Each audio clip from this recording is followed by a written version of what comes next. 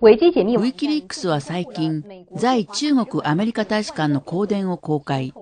公電によると、アメリカの電子証券取引所、ナスダックがファールンゴンのアメリカでの活動を支持したとして、ナスダックの中国での代表が当局に拘束され、尋問を受けたそうです。2007年1月26日付のこの公電によると、ナスダックがアメリカでのファールンゴンの活動を支持したとして、ナスダックの当時の中国代表、ローレンス・パン氏が国家安全局に拘束され尋問。当時のアジア太平洋地区の責任者、オベルギー・スチュアート氏が急遽アメリカ大使館に助けを求めたそうです。オベルギー・スチュアート氏によると、パン氏は当日午後に釈放。ナスダックニューヨーク本部での新東人テレビの報道中止が釈放条件だったのではと話しました。現在、ナスダックとは事実確認が取れていませんが、新東人テレビのリッキンキャスターが2007年当時の状況を述べました。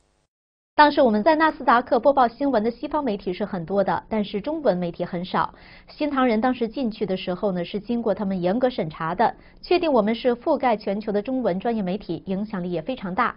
他们很高兴我们与他们合作。再后来又结合世界主要财经报刊的中国评论做深入的分析报道，对中国经济的分析报道力度可以说是比较大的。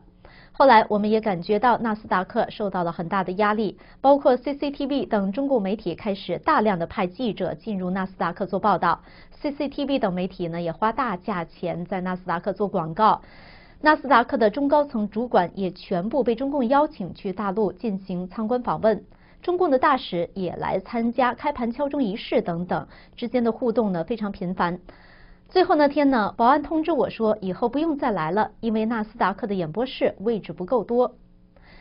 之后呢，新唐人电视台通过电话、邮件等各种渠道想要联系纳斯达克，但是呢都没有收到任何的回复，这是非常不可思议的事情。